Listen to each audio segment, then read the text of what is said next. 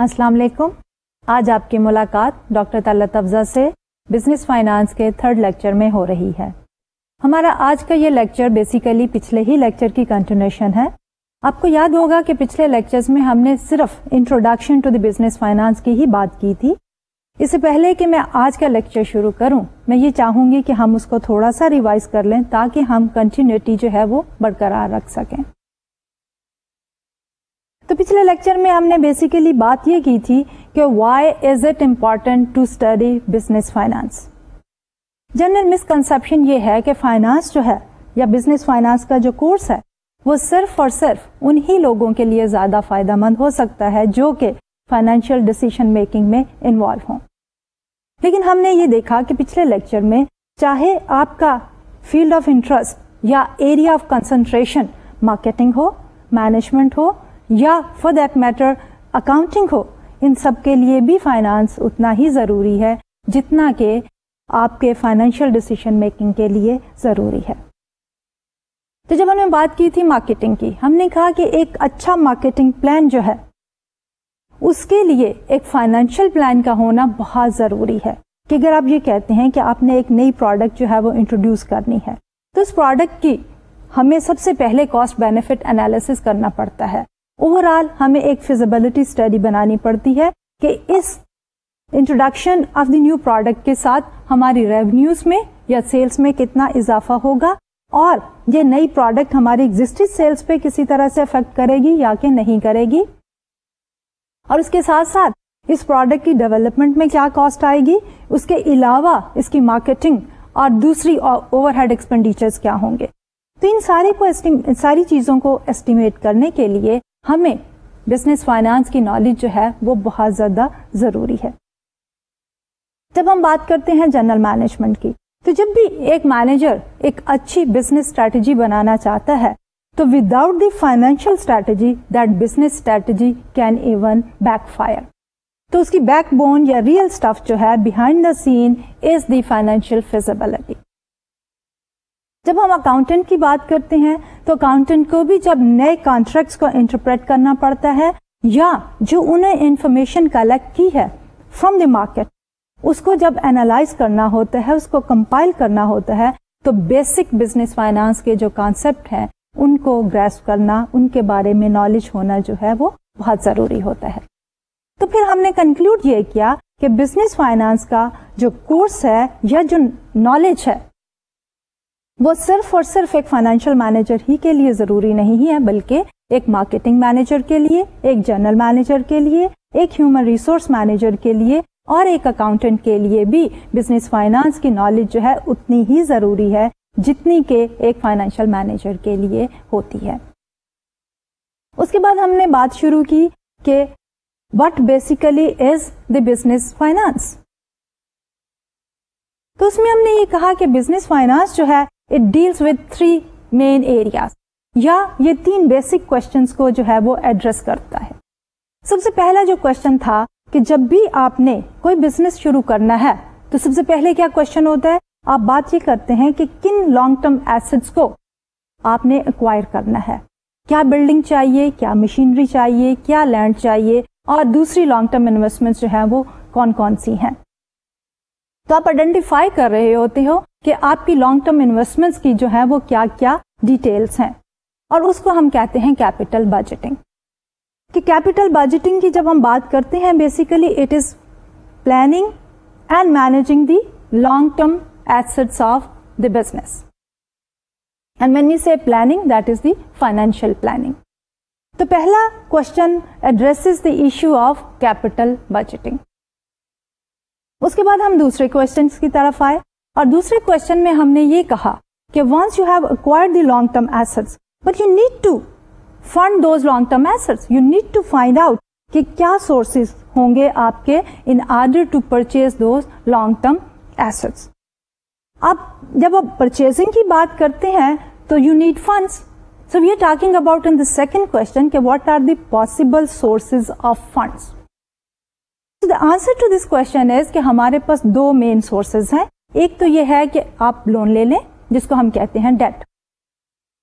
और दूसरा ये है कि आप अपनी पर्सनल इन्वेस्टमेंट करें।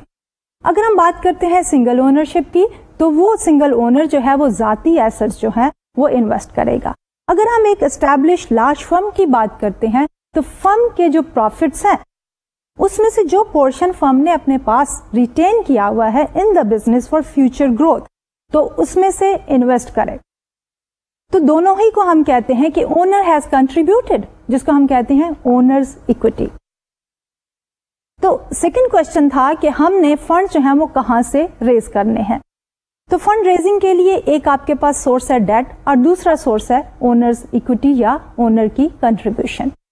तो इस क्वेश्चन में हमें यह भी देखना है कि अगर हम दोनों ही सोर्सेज यूज़ कर रहे हैं, जो कि मोस्टली इज़ द केस तो उसमें डेट का कितना कंट्रीब्यूशन है, कितना पोर्शन है और ओनर की कंट्रीब्यूशन कितनी है? तो जब हम डिसाइड करते हैं कि ओनर की कंट्रीब्यूशन कितनी है और आउटसाइड क्रेडिटर या जिनसे हमने डेट लिया हुआ है, उनकी कंट्रीब्यूशन कितनी है तो we talk about the capital structure और फाइनली हमने ये कहा कि there is a third question as well जो कि बिज़नेस फाइनेंस एड्रेस करता है। और वो थर्ड क्वेश्चन जो है that relates to the fact कि once you have arranged for the funds and you have acquired then after the implementation of the project आपको डेली बेसिस पे जो फाइनेंशियल अफेयर्स को मॉनिटर करना होता है तो आप उसकी मैनेजमेंट किस तरह करते हैं? इसको हम बात करते हैं करंट एसेट्स मैनेजमेंट की। और करंट एसेट्स मैनेजमेंट में हमारे पास आते हैं कैश अकाउंट रिसीवेबल कि जब फॉर्म ने सेल किया है on credit to the customers तो उनसे अभी पैसे वसूल होने हैं we call it as the accounts receivable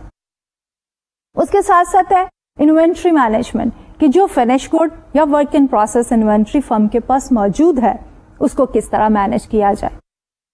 और साथ एट टाइम्स हम ये भी बात करते हैं कि अगर शॉर्ट टर्म बेसिस पे फर्म ने कहीं इन्वेस्टमेंट्स की हैं तो उनको भी मैनेज किया जाए। तो basically we we conclude here कि what basically is our business finance कि बिज़नेस फाइनेंस जो है that deals with the question of capital budgeting then capital structure and then finally the working capital management और जब हम बात करते हैं वर्किंग कैपिटल मैनेजमेंट की तो हमने ये भी बात की थी कि वर्किंग कैपिटल हमारे पास दो तरह का होता है। एक है हमारे पास ग्रॉस वर्किंग कैपिटल जो हम बात करते हैं कि शॉर्ट पीरियड ऑफ़ टाइम के लिए जो हमारे करंट एसेट्स हैं the total amount of the current asset is our gross working capital जबकि दूसरी तरफ़ हम बात करते हैं नेटवर्किंग कैपिटल की, और उसमें we also take into consideration the current liabilities अब करंट लाइबिलिटीज क्या होती हैं कि जो आपने शॉर्ट टर्म लोन लिए हुए हैं, जिनकी maturity is less than one year यानी जिनको आपने पेमेंट करनी है विद इन ट्वेल्व मंथ तो वो आपकी शॉर्ट टर्म लाइबिलिटीज हैं। उसमें आपके अकाउंट्स पेएबल भी आ जाते हैं, जिसमें फर्म ने जो है परचेज किया है ऑन क्रेडिट सप्लायर ने आपको सप्लाई कर दिया लेकिन फर्म ने पेमेंट करनी है आफ्टर 30 डेज़ और 60 डेज़ तो accounts payable is also part of your current liabilities तो नेट वर्किंग कैपिटल में हम बात ये करते हैं कि हमारे करंट एसेट्स कितने हैं minus the current liability that tells us about the liquidity of the firm के फर्म के पास इस वक्त कितने शॉर्ट टर्म फंड्स जो हैं वो अवेलेबल है फॉर अदर यूजेस उसके बाद हमने बात शुरू की कि जब हम एक बिज़नेस कंडक्ट करते हैं। तो बिज़नेस की वेरियस फॉर्म्स पॉसिबल हैं। और यही फॉर्म जो है, हम आज के लेक्चर में आगे चल के डिस्कस करेंगे। पिछले लेक्चर में हमने जस्ट एज एन इंट्रोडक्शन कहा कि एक तो हमारे पास वेल एस्टेब्लिश फॉर्म है बिज़नेस की, जिसको हम कहते हैं corporation which is a large size form registered under the law लेकिन इसके अलावा भी अगर हम अपने इर्द गिर्द देखें तो हमारे पास बिज़नेस जो है वो इट टेक्स वेरियस फॉर्म और सबसे ज़्यादा नंबर ऑफ़ बिजनेसेस जो हैं दे आर स्मॉल साइज़ और स्मॉल साइज़ बिज़नेस जिसमें हम बात करते हैं सिंगल ओनर की that is known as the sole proprietorship उसके बाद दूसरी हमारी जो फॉर्म है दैट इज़ दी पार्टनरशिप तो आज का लेक्चर हम शुरू करते हैं। और इस लेक्चर में हम पिछले ही लेक्चर को कंटिन्यू करते हुए सबसे पहले बात करेंगे the forms of the business organization कि एक बिज़नेस ऑर्गेनाइजेशन जो है, उसकी क्या क्या पॉसिबल फॉर्म्स हैं। जैसे कि हमने पिछले लेक्चर में भी बात करनी शुरू की थी और हमने ये कहा था कि पहली possible form is a single owner which is known as the sole proprietorship उसके बाद यू मस्ट हैव सीन कि लोग जो है, वो पूल करके भी एक बिज़नेस जो है, एक ग्रुप की फॉर्म में शुरू करने की कोशिश करते हैं। तो जब दो से ज़्यादा इंडिविजुअल मिलके एक बिज़नेस ऑर्गेनाइजेशन एस्टेब्लिश करना चाहते हैं तो we call it as the partnership where there are two और more individual undertaking a business activity फिर उसके बाद हम बात करते हैं कारपोरेशन की। तो corporation of course is an established legal person which is a large size corporation तो आज के लेक्चर में हम डिटेल में देखेंगे कि इन तीनों बिज़नेस फॉर्म्स की क्या क्या करेक्टरिस्टिक्स हैं, क्या एडवांटेजेस हैं और क्या डिसएडवांटेजेस हैं। इसके बाद हम मजीद आगे बढ़ते हुए बात करेंगे कि हमारे पास जो मैनेजर्स हैं who are running the affair of a large corporation उनके ऑब्जेक्टिव क्या है और हमारी जो बिज़नेस एंटिटी है कारपोरेशन आगे जाके जैसे हम देखेंगे is a legal person just like as corporation has certain rights corporation can own assets it can take loan and it can even transfer or make investment in other companies तो इसलिए जब हम corporation की बात करते हैं तो उसमें हमारे पास there are two sets of individual who are very prominent एक तो है हमारे मैनेजर्स जो कि रन कर रहे हैं अफेयर को और दूसरे हैं हमारे शेयर होल्डर्स या के ओनर तो हम देखेंगे कि ओवरऑल कारपोरेशन का ऑब्जेक्टिव क्या है। और उसके साथ साथ हम एजेंसी प्रॉब्लम की बात करेंगे, कि जहाँ हम देखेंगे कि there is conflict of interest between the two sets of individuals यानी कि हमारे जो ओनर्स हैं शेयर होल्डर्स हैं, और दूसरी तरफ़ जो हमारे मैनेजर्स हैं who are actually running show तो हम ये देखेंगे कि एजेंसी प्रॉब्लम को किस तरह मिनिमाइज किया जा सकता है। एवरीबडी एग्रीज के इट डज एग्जिस्ट तो अगर it does exist so what are the various means and ways through which we will try to minimize the agency problems और फाइनली हम बात करेंगे कि various types of financial markets कि हमारे पास किस किस किस्म की फाइनेंशियल मार्केट्स जो है, वो पाई जाती हैं? और उन फाइनेंशियल मार्केट्स की हम फर्दर कैटेगराइज करते हुए बात करेंगे प्राइमरी मार्केट के बारे में और उसके साथ साथ बात करेंगे सेकेंडरी मार्केट के बारे में। और उसके बाद हम बात करेंगे कि within this market we have two other sets which is the dealers market and the other is the auction market तो हम शुरू करते हैं अपना आज का lecture from the forms of business organization तो हमारे पास तीन basic forms of business organization है। एक है हमारे पास सोल प्रोप्राइटरशिप जिसमें हमारे पास एक सिंगल ओनर है। और वो सिंगल ओनर जो है हिमसेल्फ और herself is the business उसके साथ साथ हमारे पास सेकेंड फॉर्म आ जाती है, जिसको हम बात करते हैं पार्टनरशिप की, जिसमें दो या दो से ज़्यादा इंडिविजुअल जो है, वो पूल करते हैं अपने रिसोर्सेस और उन पूल रिसोर्सेस के साथ एक बिज़नेस एक्टिविटी अंडरटेक करते हैं। उसके साथ साथ हमारी पार्टनरशिप की भी दो तरह की फॉर्म्स हो सकती हैं, जो हम डिस्कस करेंगे। एक है हमारे पास जनरल पार्टनरशिप और दूसरी है हमारे पास लिमिटेड पार्टनरशिप उसके बाद हम बात करेंगे कारपोरेशन की which is the third form corporation is a large size business organization registered under the corporate act और उसके दरमियान में हमारे पास दो ग्रुप्स डिस्टिंग ग्रुप्स हैं। एक है हमारे पास मैनेजर्स जो एक्चुअली रन कर रहे होते हैं the affairs of the business लेकिन उसके साथ साथ हमारे पास दूसरा सेट ऑफ़ इंडिविजुअल है, जो कि शेयर होल्डर्स हैं। दे आर दी ओनर्स तो हम शुरू करते हैं आज के lecture with the first form which is the sole proprietorship तो सोल प्रोप्राइटरशिप में there is a single owner it has certain advantages and it has certain disadvantages अगर हम अपने इर्द गिर्द देखें the number of businesses operating in our economy जो है they are more in number when we are talking about this single owners as compare to the group of individual as owner which is partnership and of course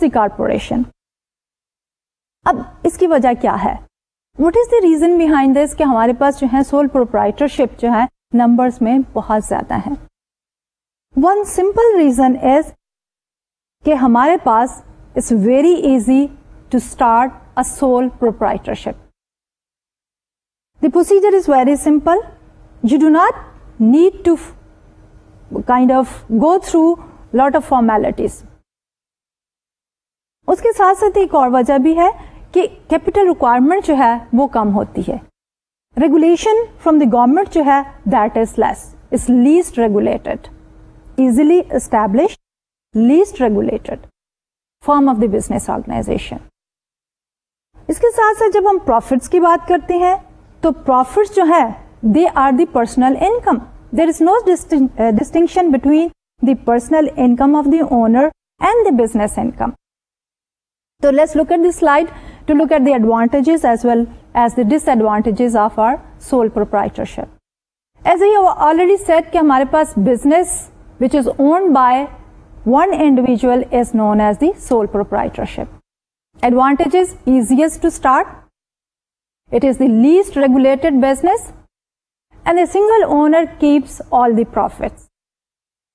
And the taxes when it comes to the taxes तो जब वो single owner जो है, वो सारे के सारे profit रखता है तो वो प्रॉफिट बेसिकली उसकी पर्सनल इनकम बन जाते हैं। इसलिए जो वो टैक्स देता है to the government he taxes that income as the personal income and only one time tax is paid to the government but of course it has certain disadvantages as well अब इसका सबसे बड़ा जो है disadvantage ये है कि इसकी लाइफ जो है that is very limited as I have mention on this slide कि limited life of the owner कि आपके बिज़नेस की लाइफ जो है if owner dies business is no more there so it has a limited life it doesn't have the continuity उसके बाद बात करते हैं हम कि when it comes to the fund raising जब आपने अपना कैपिटल इन्वेस्ट किया उस बिज़नेस में that is the owners contribution अब अगर आप उस बिज़नेस का साइज़ जो है वो बढ़ाना चाहते हैं you go to the market place to take a loan तो वो loan is considered as the personal loan given to the individual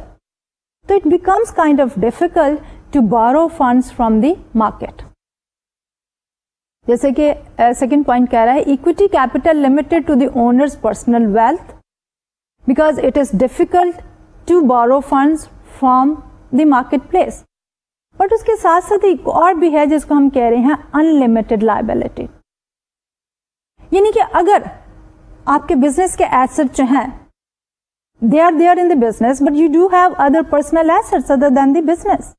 आपके पास दो तरह के एसेट्स मौजूद हैं। एक एसेट जिनके साथ आपने चाहे equipment machinery whatever your project is आपने जो कि बिज़नेस में लगाए हुए हैं, दूसरे आपकी ओनरशिप है इन अ हाउस और any other kind of property और इन्वेस्टमेंट एनी वेयर एल्स अब अगर आपका बिज़नेस फ्लॉप होता है यू स्टार्ट इनकरिंग लॉसेस तो क्या होगा? कि आपके जो क्रेडिटर है बाई चांस अगर आपने लोन लिया हुआ है तो क्या होगा? फ़र्स्ट ऑफ़ ऑल आपके बिज़नेस के एसेट्स बेचे जाएँगे in order to meet the obligation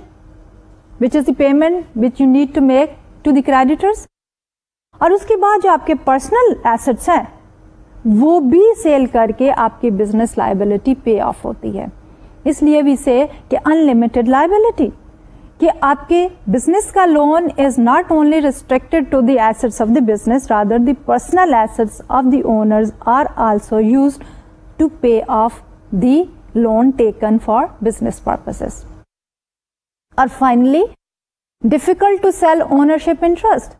कि अगर आप अपने बिज़नेस को बेचना चाहें तो इट बिकम्स वेरी डिफ़िकल्ट कि आपको कोई बायर मिल जाए जो आपके इस रनिंग बिज़नेस को परचेज कर सके। आगे जाके हम देखेंगे कि जब कारपोरेशन की बात होती है तो it is very simple to sell the ownership क्योंकि आप सिर्फ़ शेयर्स बेचेंगे। अब हम आते हैं दूसरी forms of the business organization second form जो क्या है हमारी पार्टनरशिप पार्टनरशिप में हमने क्या कहा कि if you want to start a business on a bit larger scale in comparison to the sole proprietorship तो आप ये कहते हैं कि टू और more individuals they get together and they form a business entity and we call it as the partnership partnership जो है, हमारे इसकी भी आगे मजीद दो फॉर्म्स हैं. एक है हमारे पास जनरल पार्टनरशिप और दूसरी है हमारे पास लिमिटेड पार्टनरशिप अब जनरल पार्टनरशिप में क्या होता है कि सारे ओनर्स जो हैं they equally participate in the business activity and they share in the profits and the losses, as well as their assets are used to pay off the liability of the business. दूसरी तरफ़ आती है हमारे पास limited partnership तो limited partnership में क्या होता है कि हमारे पास एक ग्रुप ऑफ़ इंडिविजुअल है जो कि जनरल पार्टनर्स हैं, जो कि शेयर करेंगे प्रॉफिट लॉस में और उसके साथ लाइबिलिटीज एंड एवरीथिंग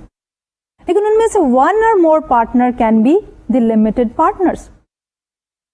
अब लिमिटेड पार्टनर जो है, उनकी participation in the business is limited to the contribution जो उन्होंने बिज़नेस में की हुई है। उसके बाद अगर बिज़नेस को लॉस होता है तो उनकी जो पर्सनल एसेट्स हैं, वो यूज़ नहीं होते to pay off the business date लेकिन उसके साथ साथ उनकी प्रॉफिट और लॉस शेयरिंग में भी जो शेयर है दैट इज़ लिमिटेड वो हमने प्री स्पेसिफाई किया होता है कि ये जो लिमिटेड पार्टनर है, वो टेन परसेंट का है, या ट्वेंटी परसेंट का है। उसके प्रॉफिट लॉस भी सिर्फ़ उतने ही मिलेंगे, जो भी प्री डिसाइडेड रेट है। और उसके साथ साथ जो बिज़नेस की लाइबिलिटीज पे ऑफ़ करनी होती हैं it is limited only to कि जो उसने कंट्रीब्यूशन की है in the business of course our partnership also has certain advantages and disadvantages जो कि हमने लिस्ट डाउन किए हैं ऑन दिस पर्टिकुलर स्लाइड अब इस स्लाइड पे we have the advantages two or more owners they can get together and they can form a partnership so when we are talking about more than one individual which is two or more so definitely हम जब compare करें amount of capital invested in the business in comparison to the sole proprietorship तो partnership में amount of capital available जो है that is more than the sole proprietorship in general and then it is also relatively easy to start कि जैसे हमने कहा था sole proprietorship is the easiest one partnership में भी हमारे legal formalities are not that much and it is also relatively easier in comparison to the corporation to start a partnership business अब आता है प्रॉफिट की बात, कि जो प्रॉफिट पार्टनरशिप अर्न करती है that becomes the personal income of the partners इसलिए वो personal income is only taxed once by the government in the form of the personal income तो जो हमारे पार्टनर है, वो जो टैक्स पे करते हैं that is only the personal income taxes course it also has certain disadvantages just like our sole proprietorship the first disadvantage is unlimited liability कि जब हम एक पार्टनरशिप बिज़नेस शुरू करते हैं तो पार्टनर्स कुछ कंट्रीब्यूट करते हैं। इसके अलावा वो कुछ लोन लेते हैं मार्केट से। अब अगर बिज़नेस जो है, वो प्रॉफिट अर्न नहीं कर रही लॉसेस में जा रही है, और क्रेडिटर्स दे है they ask their money back तो जो उन्होंने कंट्रीब्यूट किया है इन द बिज़नेस वो एसेट्स बेचे जाएँगे। और उसके साथ साथ अगर क्रेडिटर्स की पेमेंट कंप्लीट नहीं होती तो जो इन पार्टनर्स के एसेट्स होंगे पर्सनल एसेट्स होंगे, वो भी यूज़ होंगे to pay off the date लेकिन यहाँ पे एक डिस्टिंक्शन ज़रूरी है कि unlimited liability is there for the general partner but unlimited liability is not there for the limited partner and then the partnership dissolve when one partner dies और wishes to sell कि अगर एक partner जो है unfortunately उसकी death हो जाती है तो this partnership can not continue उसके लिए आपको एक नई पार्टनरशिप डीड बनानी पड़ती है और it also at times become difficult to sell the share of the partner जो कि जिसकी डेथ हो चुकी है। इसलिए पार्टनरशिप भी सोल प्रोप्राइटरशिप की तरह ही at the death of any one of the partner जो है वो डिजोल्व हो जाती है। उसको कंटिन्यू करना जो है मुश्किल हो जाता है। हाँ हमारे पास यहाँ पे एक कहना चाहिए एक्सेप्शन है and that is related to the limited partner कि इन केस कि एक लिमिटेड पार्टनर की डेथ हो जाती है, या वो अपना शेयर सेल ऑफ़ करना चाहता है तो उस सिनारियों में इट इज़ रिलेटिवली इजियर कि हम उसका शेयर जो है वो बेच देंगे because it is pre specified और उसकी जो है लाइबिलिटी जनरल लाइबिलिटी नहीं है। तो इन दैट एक्सेप्शनल केस हमारा जो लिमिटेड पार्टनर है, उसका शेयर जो है वो बेचा जा सकता है। And finally difficult to transfer ownership कि just like this sole proprietorship अगर आपने इसको बेचना हो तो मार्केट प्लेस में पार्टनरशिप को बेचना भी खासा मुश्किल होता है। क्योंकि there are so many partners involve अगर एक की डेथ हो जाती है and you would like to add one new partner तो नया पार्टनर जो है वो ये देखता है कि एग्जिस्टिंग पार्टनर के साथ उसकी अंडरस्टैंडिंग हो सकती है या कि नहीं हो सकती, जो कि खासी डिफ़िकल्ट पॉसिबिलिटी है। And then we come to the third form of the business organization which is corporation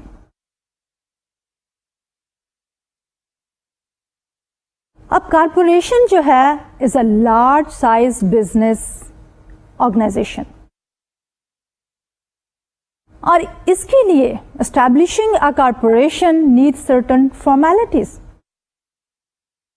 अगर आप business pages of the newspaper देखते हो तो जब भी कोई नई कारपोरेशन फ्लोट होनी होती है तो उससे पहले उसकी एक प्रोस्पेक्टस जो है न्यूज़पेपर में छपती है। प्रोस्पेक्टिस क्या कह रही होती है कि the financial plan of that particular organization कि उसके क्या क्या एसेट्स होंगे? और उन एसेट्स को फाइनेंस करने के लिए क्या क्या सोर्सेज हैं? डेट कितना होगा? इक्विटी कितनी होगी? कितने नंबर ऑफ़ शेयर्स ये बेचेगी? और उसको जो है प्रोस्पेक्टिस के बाद रजिस्टर्ड करना पड़ता है। Shares authorization in everything is made public और फिर वो पब्लिक को ऑफ़र करते हैं फॉर सेल सो कॉरपोरेशन की जो एस्टेब्लिशमेंट है it requires lot of formalities to be fulfilled लेकिन एक दफ़ा जब हमारी कारपोरेशन एस्टेब्लिश हो जाती है तो corporation is a legal person यानी कि physically it's not a human being but when we call it as a legal person what does it mean इसका मतलब यह है कि just like us Just like a human being, the corporation can own assets, purchase asset on its name. It can take loan from the marketplace. So it has all the legal rights as an individual have in has in a particular society कि हम भी assets own कर सकते हैं, हम भी loan ले सकते हैं। तो ये कारपोरेशन भी एसेट्स भी ओन कर सकती है और लोन भी ले सकती है। लेकिन जब हम एक कारपोरेशन एस्टेब्लिश करते हैं तो उसकी दो इंपॉर्टेंट रिक्वायरमेंट्स होती हैं। एक है उसका चार्टर और दूसरा है उसके बायलास तो जो चार्टर होता है ऑफ़ ए कारपोरेशन उसमें हम क्या करते हैं कि वी टॉक अबाउट के इसका नाम क्या होगा किस किस्म की बिज़नेस एक्टिविटी ये कारपोरेशन अंडरटेक करेगी? उसके sources of funds and stuff like that लेकिन उसके साथ जब हम बायलास की बात करते हैं तो हम बात करते हैं कि ये बिज़नेस ऑर्गेनाइजेशन जो है, किस तरह हम रन करेंगे? कि बोर्ड ऑफ़ डायरेक्टर्स जो है वो किस तरह सेलेक्ट होंगे और किस तरह वो जो है मैनेजर्स को हायर करेंगे and what will be the terms and the conditions of that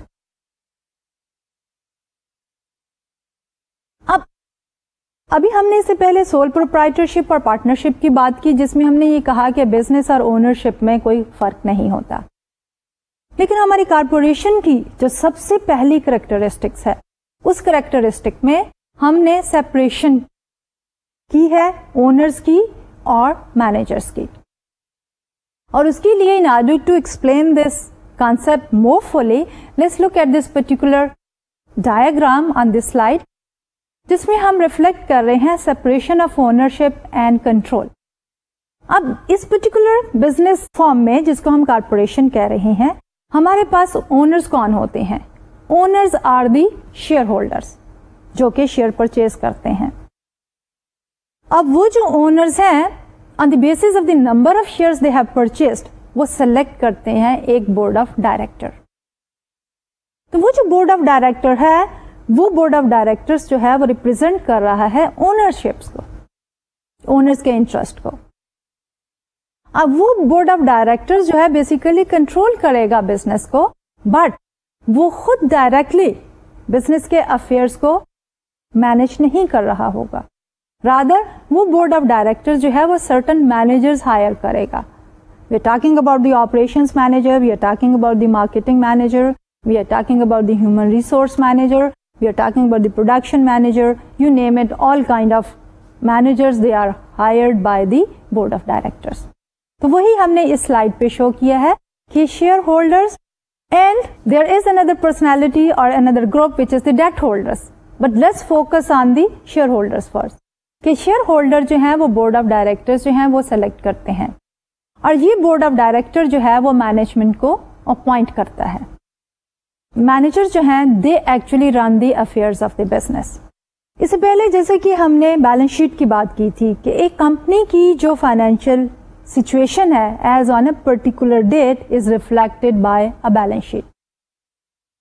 balance sheet के एक कंपोनेंट होता है एसेट्स जिसमें हम बात करते हैं कि करंट एसेट्स क्या होंगे और फिक्स्ड एसेट्स क्या होंगे। लेकिन उसके साथ दूसरी तरफ़ जो है, हम बात करते हैं कि ये एसेट्स जो है, वो फाइनेंस किस तरह किए जाएँगे। यानी कि कितनी कंट्रीब्यूशन होगी क्रेडिटर्स की और कितनी कंट्रीब्यूशन होगी ओनर्स की। इसको जिसको हमने बात की थी कैपिटल स्ट्रक्चर के कॉन्टेक्स्ट में। तो ये जो मैनेजर्स हैं, ये सारा एक्चुअल सीन या बिज़नेस एक्टिविटी जो है वो उसको रन कर रहे होंगे। जब हम बात करते हैं दो सोर्सेज की, एक है शेयर होल्डर्स की और शेयर होल्डर्स का कंट्रोल जो है वो आ रहा है थ्रू बोर्ड ऑफ़ डायरेक्टर्स के। दूसरी तरफ़ हमारे पास डेट होल्डर्स है और वो जो है, अगर हम देखें तो मैनेजमेंट के नीचे हमारे पास है assets on one hand and then debt and equity on the other hand ये debt is going to the debt holders और वो डेट होल्डर्स जो है, वो डायरेक्टली मैनेजर्स के साथ इंटरक्ट कर रहे होंगे। जो शेयर होल्डर्स की कंट्रीब्यूशन है इक्विटी की, वो आ रही है through the board of directors उनका इंटरेस्ट जो है, वो रिप्रेजेंट कर रहा है बोर्ड ऑफ़ डायरेक्टर्स और वो बोर्ड ऑफ़ डायरेक्टर्स जो है, उन्होंने मैनेजर को जो है वो सेलेक्ट करना है और वो मैनेजर जो है, वो बिज़नेस को रन कर रहे होंगे। तो what we see on this slide is कि there is a clear cut separation between the managers and the owners managers are the one who are actually running the business we are as हमारे जो share holders हैं they are trying to control through the board of directors अब हम बात करते हैं कि what are the advantages and what are the disadvantages of the corporation advantage में सबसे पहला है limited liability unlike the sole proprietorship and the partnership general partnership जिसमें हमने ये कहा था कि अगर बिज़नेस ने कोई लोन लिया है तो उसको रीपे करने के लिए सबसे पहले बिज़नेस के एसेट्स बेचे जाएँगे और उसके बाद भी अगर कोई लाइबिलिटी बचती है तो personal assets of the sole proprietor और द पार्टनर्स वो भी यूज़ किए जाते हैं to pay off the date और उसको हमने कहा था कि अनलिमिटेड लाइबिलिटी लेकिन when we are talking about the corporation तो कारपोरेशन की जो ओनरशिप है that is reflected through the purchase of the shares और the stock of that company अब अगर कारपोरेशन को लॉसेस होते हैं तो उन शेयर्स की जो वैल्यू है वो कम होती है. एसेट्स अगर बिज़नेस के बेचे जाते हैं तो क्रेडिटर्स को सबसे पहले पे ऑफ़ किया जाता है. लेकिन जो शेयर होल्डर्स हैं, उनकी पर्सनल प्रॉपर्टी यूज़ नहीं होती to pay to the creditors इसलिए जो लाइबिलिटी है ओनर्स की that is limited to the amount of money they spend in purchasing the share of that company जितने पर पैसे आपने इन्वेस्ट किए हैं बाय परचेजिंग द स्टॉक आपका मैक्सिमम लॉस जो है that is limited to that amount so we call it as the limited liability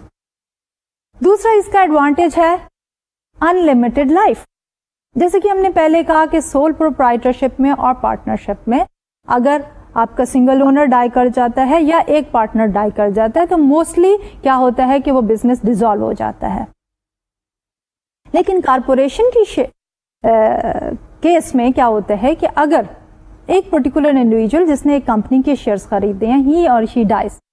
तो क्या होगा कि वो सर्टिफिकेट जो है हेयर कर सकते हैं उसके सन्स डॉटर्स और who is the legal heir और वो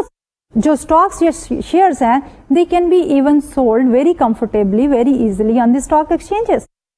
इसलिए transfer of the ownership is very very simple very easy जबकि हमने ये कहा था कि transfer of the ownership in case of the sole proprietor and the partnership is difficult तो यहाँ पे हम देख रहे हैं कि transfer of the ownership is also very easy और इससे पहले भी हमने जो कॉन्सेप्ट डिस्कस किया है कि there is separation between the managers and the owners there is a disting distance between both of these parties shareholders जो है, उनका जो है influence in the business is coming through the board of directors only. Or जो managers हैं they are actually running the show. So they, these, these are the two separate groups managers and और finally हमने जब soul proprietorship और partnership की बात की थी तो हमने कहा था कि it becomes kind of difficult कि वो जो है फंड्स बोरो कर सकें फ्रॉम द मार्केट प्लेस लेकिन जब हम कारपोरेशन की बात करते हैं well establish large size corporation जिसके नाम पे सर्टन एसेट्स जो है वो रजिस्टर्ड हैं। क्योंकि हमारी जो कारपोरेशन है it can also own assets इसलिए क्या होगा कि they can also get loan from the market relatively comfortably as compared to the sole proprietorship and the partnership. कि अगर उन्होंने लोन लेना हो मार्केट प्लेस से तो उनके लिए ये कंपैरेटिवली आसान है कि वो मार्केट से लोन ले लें। But of course there are certain disadvantages of corporation as well और जो सबसे पहला डिसएडवांटेज है that is coming from the separation of the owners and the managers जैसे कि हमने यहाँ पे लिस्ट डाउन किया कि separation of the ownership and the management sole proprietorship की केस में और पार्टनरशिप की केस में जो बिज़नेस के प्रॉफिट्स थे, वही पर्सनल प्रॉफिट्स थे फॉर द ओनर्स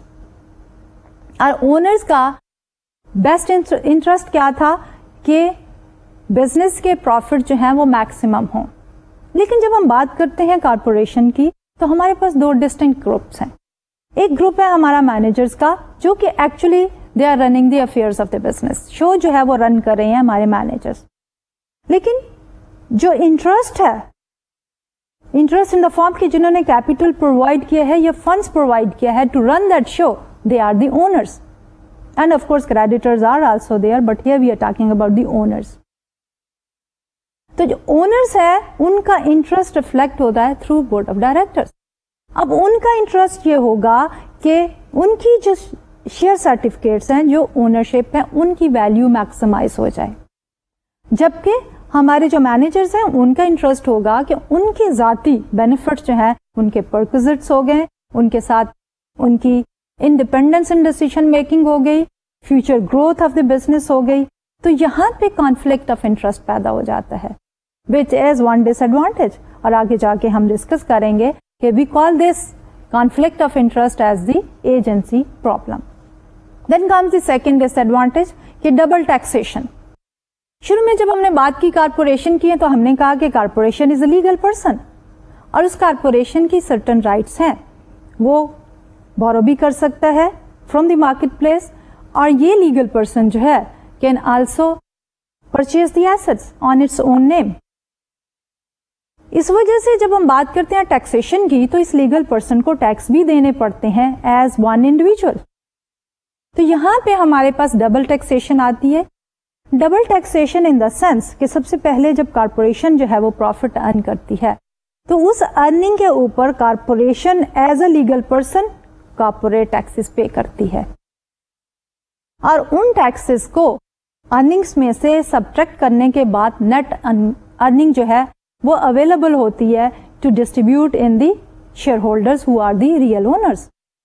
और उस अर्निंग का कुछ पोर्शन जो है वो शेयर होल्डर्स को दे दिया जाता है और कुछ पोर्शन जो है बिज़नेस रिटेन कर लेती है in the form of the future growth और वो जो शेयर होल्डर्स को हम डिस्ट्रीब्यूट करते हैं this is known as the dividend paid to the shareholders वो डिविडेंड जो है हमारे शेयर होल्डर्स के पर्सनल इनकम हो जाती है और उस पर्सनल इनकम के ऊपर उनको टैक्स देना पड़ता है। तो ये इनकम जो है it has been tax twice कि एक दफ़ा जब कारपोरेशन ने वो अर्निंग अर्न की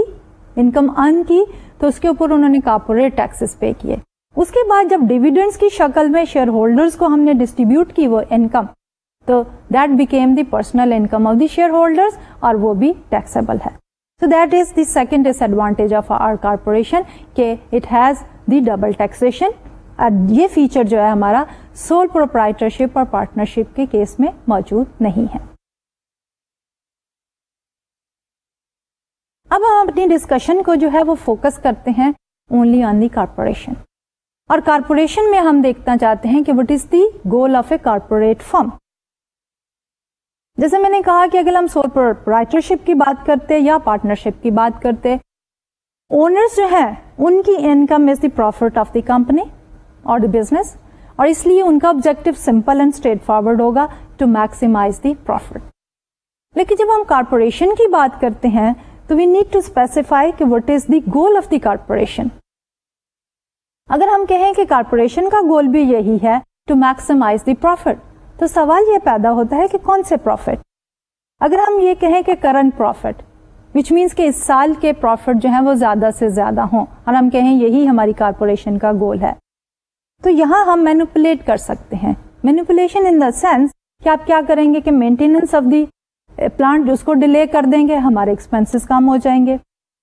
इसी तरह अगर आपने सप्लायर्स को पेमेंट्स करनी है और कुछ इन्वेंट्री ऑन हैंड रखनी है, आप लेवल ऑफ़ द इन्वेंट्री कम कर दें, आपका एक्सपेंडिचर कम हो जाएगा। मार्केटिंग प्लान्स को या एडवर्टीजमेंट को थोड़ा सा कम कर दें तो आपका एक्सपेंडिचर कम हो जाएँगे। तो अगर ऑब्जेक्टिव सिर्फ़ और सिर्फ़ करंट इनकम को बढ़ाना ही है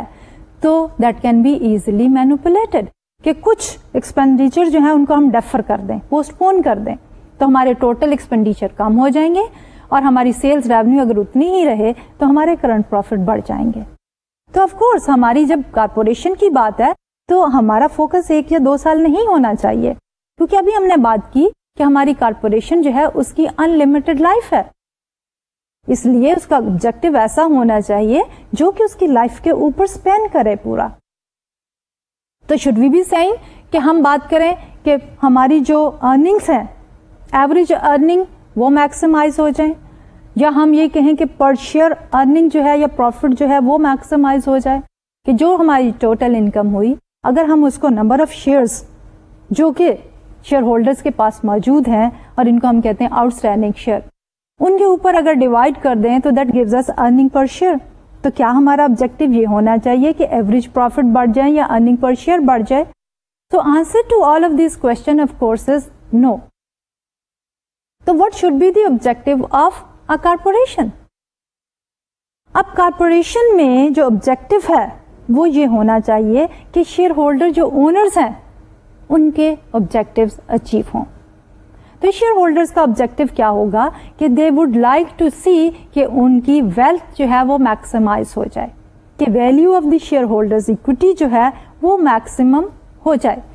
विच इज़ पैरल टू जो हमने ऑब्जेक्टिव रखा to the sole proprietorship and partnership उसमें हमने ये कहा कि हमारे जो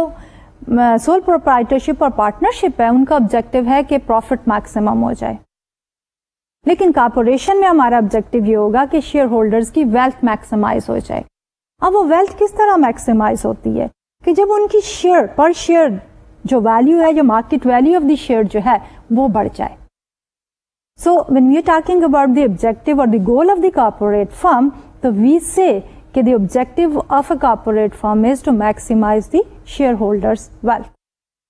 अब, इसको हम पर शेयर प्राइस की शक्ल में भी बात कर सकते हैं। अगर हम ये कहें कि शेयर की मार्केट वैल्यू जो है, वो बढ़ जाए तो वो हम रिस्ट्रिक्ट कर रहे हैं ओनली टू द कारपोरेशन अगर हम एक जनरलाइज ऑब्जेक्टिव देना चाहते हैं, जो कि अलाइन कर रहा है सोल प्रोप्राइटरशिप और पार्टनरशिप के साथ भी तो हमें ये नहीं कहना चाहिए कि मार्केट वैल्यू पर शेयर बढ़े. रादर हमें ये कहना चाहिए कि शेयर होल्डर्स की वेल्थ जो है, वो मैक्सिमाइज हो जाए. अब सवाल ये पैदा होता है कि ये शेयर होल्डर्स की वेल्थ मैक्सिमाइजेशन का ऑब्जेक्टिव जो है, हमारे जो मैनेजर्स जो एक्चुअली कारपोरेशन को रन कर रहे हैं, उनको भी सूट करता है कि नहीं whether they would like to follow the same objective और दे हैव डिफरेंट ऑब्जेक्टिव अब यहाँ पे जब हम दोनों के ऑब्जेक्टिव्स को देखते हैं तो there can be a contradiction of the objective and the self interest और इस सिचुएशन को हम कहते हैं एजेंसी प्रॉब्लम कि हमारे जो मैनेजर्स हैं दे आर द एजेंट और हमारे जो शेयर होल्डर्स हैं दे आर द प्रिंसिपल्स हमारे शेयर होल्डर्स जो हैं they are the actual owners of the business they own the business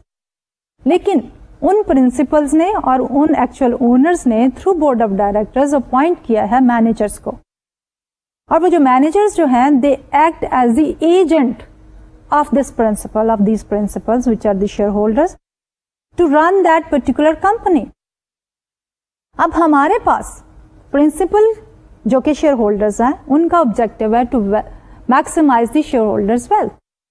लेकिन जो हमारे एजेंट हैं उनका ऑब्जेक्टिव एग्जैक्टली ये नहीं हो सकता। उनके ऑब्जेक्टिव की कई पॉसिबिलिटीज हैं। They would like to have कि उनको जो है जो benefits in the form of the pay और in the form of the other facilities वो मैक्सिमम हो उसके साथ साथ उनको ये देखना पड़ता है या उनका जो ऑब्जेक्टिव होता है कि उनकी फ्यूचर प्रमोशन एंड ग्रोथ जो है, वो पाथ वेल डिफाइंड हो। अब उनकी जो ऑब्जेक्टिव्स हैं they are different from the shareholders objective they are more focusing on their personal growth their independence as well as the growth of the company जबकि share holders जो हैं, वो focus कर रहे हैं on the maximisation of the share price और the share holders wealth तो इस प्रॉब्लम को हम कहते हैं एजेंसी प्रॉब्लम अब इस एजेंसी प्रॉब्लम की वजह से there can be a situation जिसमें हमारे जो मैनेजर्स हैं, जो एजेंट्स हैं they can not be working with the objective of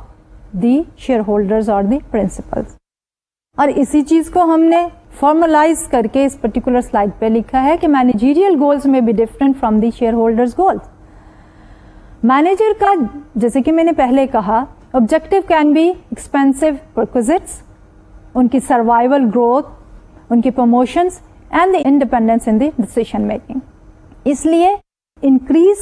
size in the growth of the firm is not aligned with the objective of the shareholders which we have already said कि share holder का objective है to maximise the shareholders wealth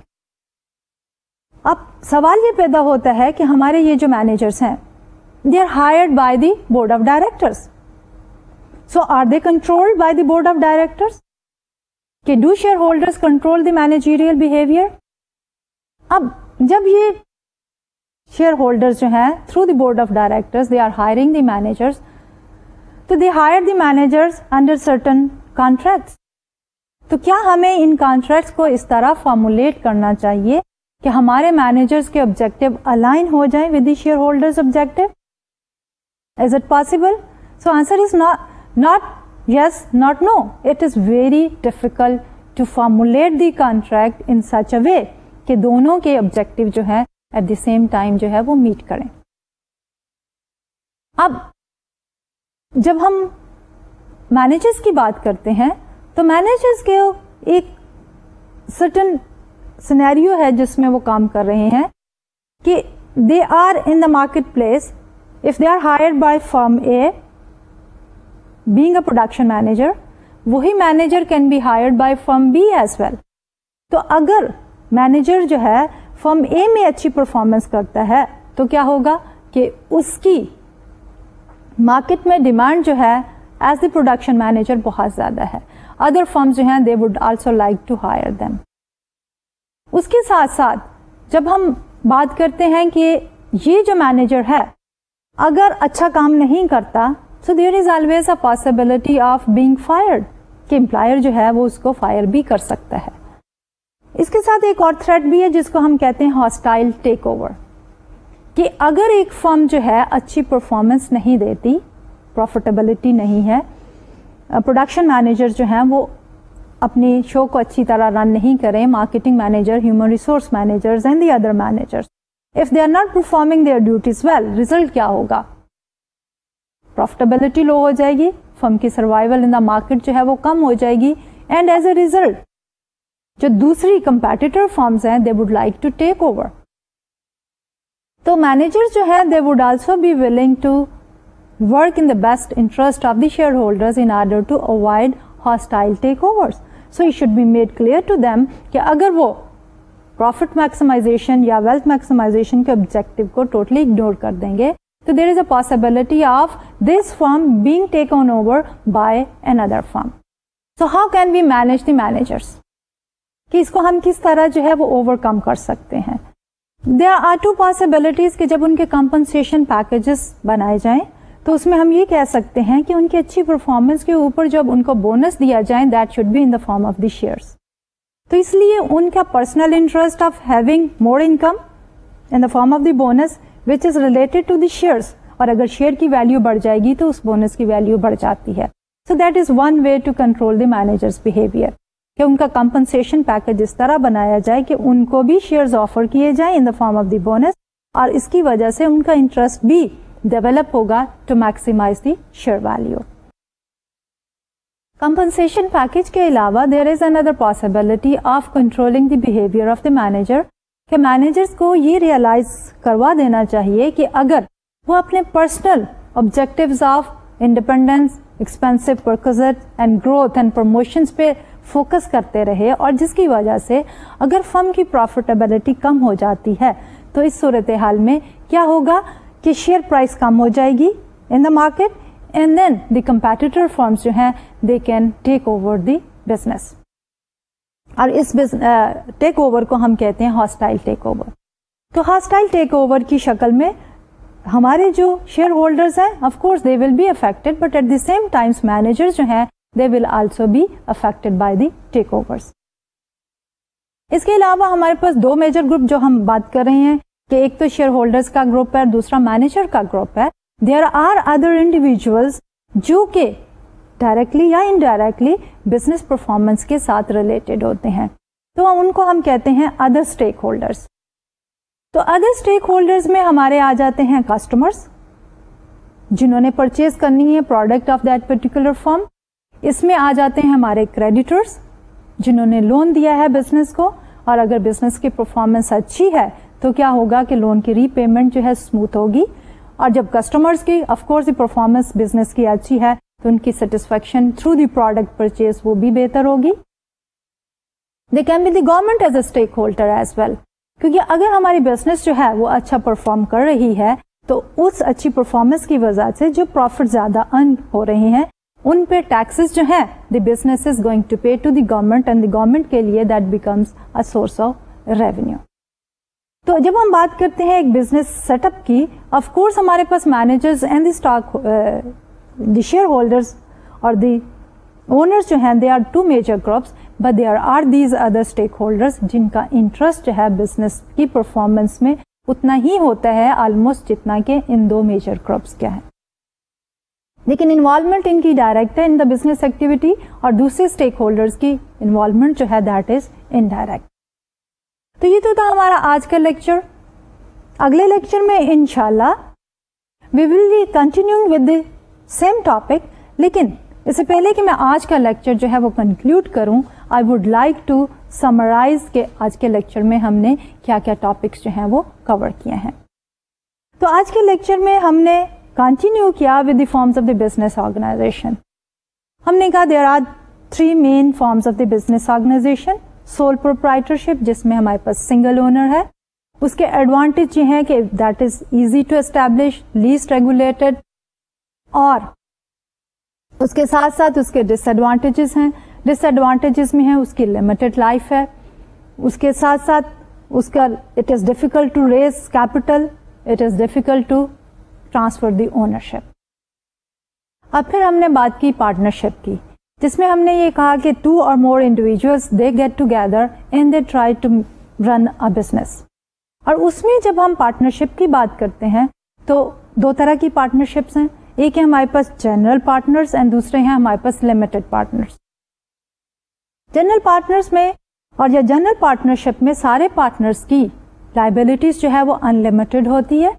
जबकि limited partnership में कुछ general partners होते हैं but one और more partners can be limited partners तो इन लिमिटेड पार्टनर्स की liability in the business is limited to कि जो उन्होंने कंट्रीब्यूशन की है इन दैट बिज़नेस ओनली उनके पर्सनल एसेट्स जो हैं वो यूज़ नहीं होते to pay off the business loan लेकिन जब हम बात करते हैं प्रॉफिट एंड लॉसेस की भी तो प्रॉफिट लॉस में भी उनकी शेयरिंग जो है वो लिमिटेड होती है प्री डिसाइडेड होती है। जब एडवांटेजेस और डिसएडवांटेजेस की बात करते हैं फॉर दी पार्टनरशिप तो वो almost similar to the sole proprietorship है, कि it is relatively easier to form less regulated and ownership transfer is difficult and then it is difficult to raise capital और finally हमने बात की थी corporation की। जो कारपोरेशन है that basically was a big business entity और उस बिज़नेस एंटिटी जो है, उसकी फॉर्मुलेशन इज़ मोर लेंथी लेकिन वंस इट इज़ एस्टेब्लिश तो उसको हम कहते हैं लीगल पर्सन तो ये corporation when it is a legal person can owns asset can also get loan from the market easily लेकिन इसके साथ साथ एक प्रॉब्लम पैदा होता है, जिसको हमने डिस्कस किया एजेंसी प्रॉब्लम का, कि हमारे यहाँ पे सेपरेशन है ओनर्स की और मैनेजर्स की. ओनर्स के गोल है to maximise the shareholders wealth managers के गोल हैं कि उनके जाती बेनिफिट ज़्यादा हों, उनकी compensation and the other benefit ज़्यादा से ज़्यादा हों, उनकी ग्रोथ पोटेंशियल प्रमोशन के चांसेस ज़्यादा हों, और उसके साथ साथ उनको इंडिपेंडेंस हो इन द डिसीज़न मेकिंग ये कॉन्फ्लिक्ट ऑफ़ इंटरेस्ट जो है between the owners and the manager is known as the agency problem और हमने ये कहा कि उसका हल ये है कि अगर हमारा कंपनसेशन पैकेज मैनेजर्स का इस तरह हो कि उनको बोनस को बोनस की शक्ल में शेयर्स दिए जाएँ। तो they would be interested to increase the shareholders wealth और the share value in the market तो ये तो था हमारा आज का लेक्चर इनशाला अगले लेक्चर में हम बात करेंगे कि हमारी फर्म और फाइनेंशियल मार्केट्स क्या है और फर्म की जो दो मेन फाइनेंशियल स्टेटमेंट्स हैं बैलेंस शीट और इनकम स्टेटमेंट आज के लिए डॉक्टर तलत को इजाज़त दीजिए।